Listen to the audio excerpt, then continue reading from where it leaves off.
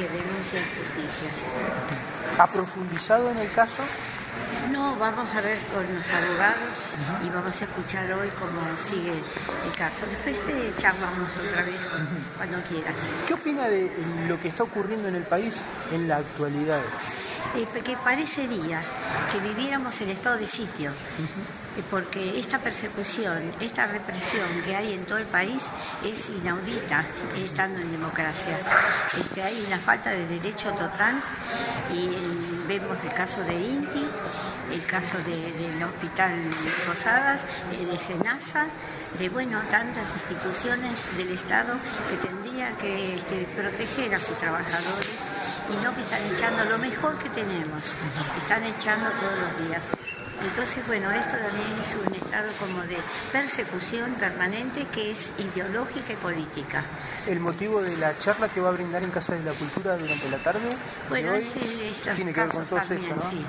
Este, así que poder un poquito dialogar, ¿no? Y cambiar de opiniones. Exactamente. Este, con- conversar, que es lo que tendría que hacer el gobierno, este, conversar con el pueblo, tener diálogo con el pueblo y escuchar. ¿Imaginó que, algún, que en algún momento íbamos a estar en este momento de esta manera? Bueno, yo me no? imagino, uno nunca se imagina lo peor. Claro.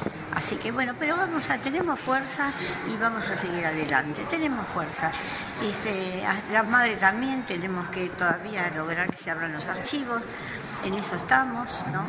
Y, este, y la condena a todos los culpables de, de estos crímenes horrendos que se cometieron. Bueno, después nos vemos. Muchas gracias, ¿eh? A ver. ¿No recuerdo. Sé que hubieron muchos repillajes, pero no recuerdo. Eh, hoy que le dijo al doctor que si alguien había que estaba haciendo disturbios, se lo sacaba, se lograba una contravención y dijo que llamaban al móvil. ¿Quién llama al móvil? El que hace- se hace cargo del HT. ¿Y quién se hace cargo de esto? Y eso varía por ahí. El que está a cargo del adicional, por ahí el de la terapia, depende. ¿Eso le tiene alguna designación? O sea, alguien dice quién es No, distinto. ¿Usted eh, ha trabajado como oficial de guardia?